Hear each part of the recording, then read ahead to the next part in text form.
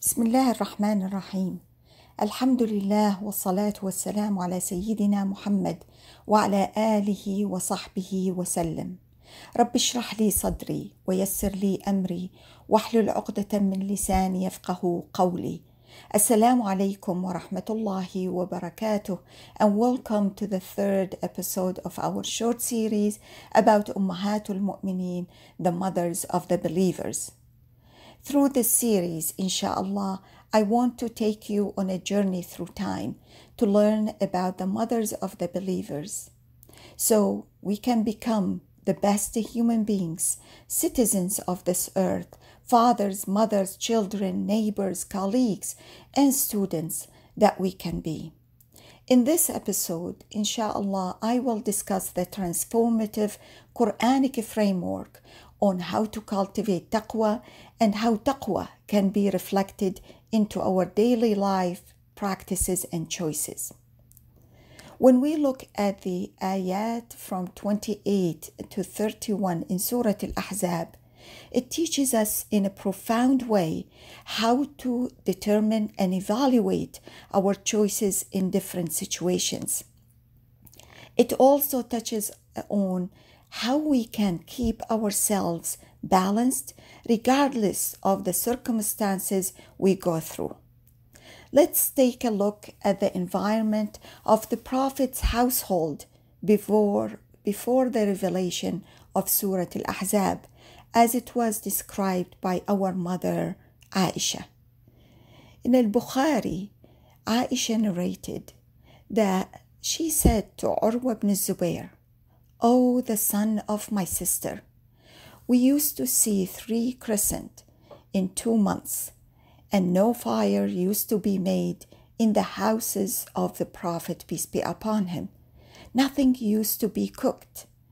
Arwa said, What used to sustain you? Our mother Aisha said, The two black things, dates and water, except that the Messenger of Allah, peace be upon him, had neighbors from the Ansar who had some milky camels, and they used to give the Prophet, peace be upon him, some milk from their house, and he used to make us drink it.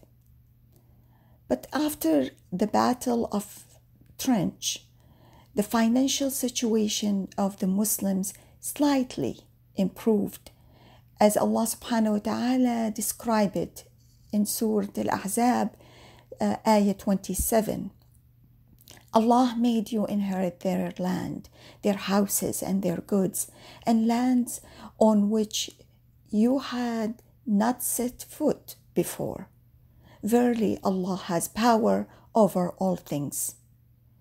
In view of the context in which this verses, ayat, revealed, the wives of the Prophet, peace be upon him, asked him to spend more on them. But the Prophet, peace be upon him, despite all kinds of the materials, opportunities, he continued to lead a simple and modest, modest life. Therefore, when he heard about their complaint, he decided to keep away from his wives for a month in order to show them that the worldly life was unimportant to him. When the month passed, the messenger of, of Allah ended the seclusion and started to see his wives.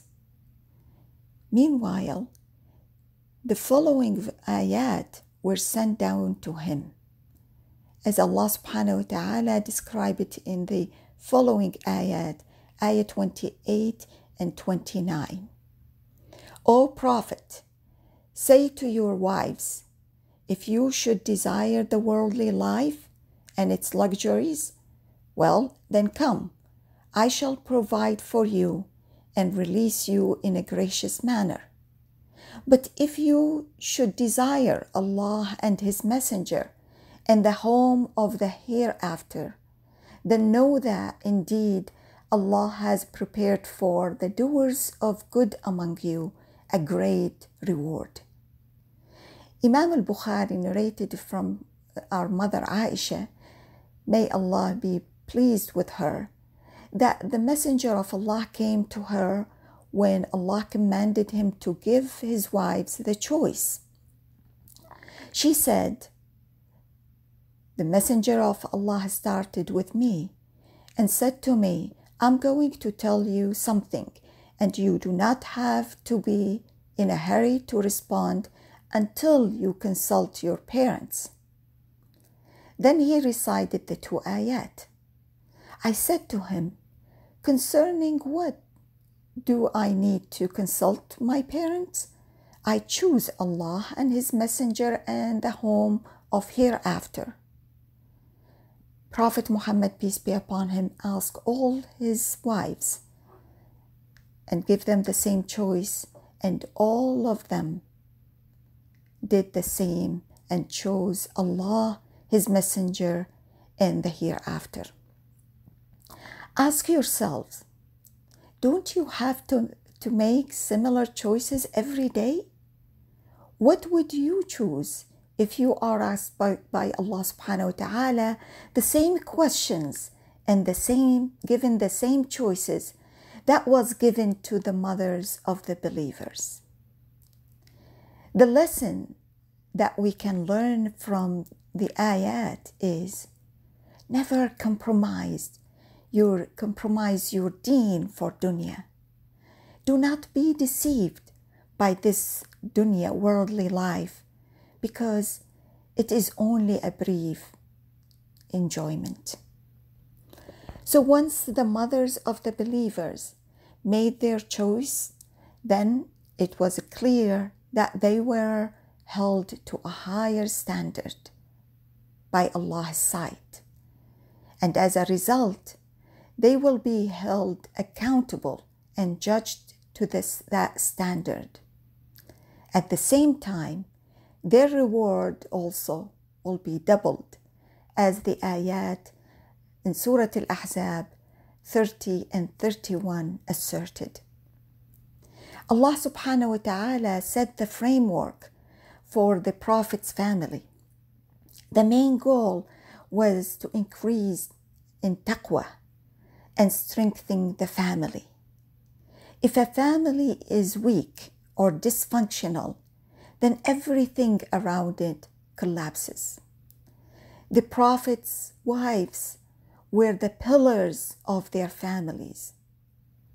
Their eyes were always on the afterlife. They devoted their life, work, and wealth for the cause of Allah subhanahu wa ta'ala. They went through all kinds of challenges and tests, but their ultimate goal was to support the Prophet, peace be upon him, and please Allah subhanahu wa ta'ala. Therefore, they are our teachers until the end of time because they were sincere and devoted to Allah subhanahu wa ta'ala, and that's what stays long past their lifetime. That's what Surah Al Ahzab emphasizes. I would like to leave you with uh, some questions to reflect on. So each day you are given opportunities to make choices for yourself. At the most basic level, the outcomes of your decisions will be either productive or not.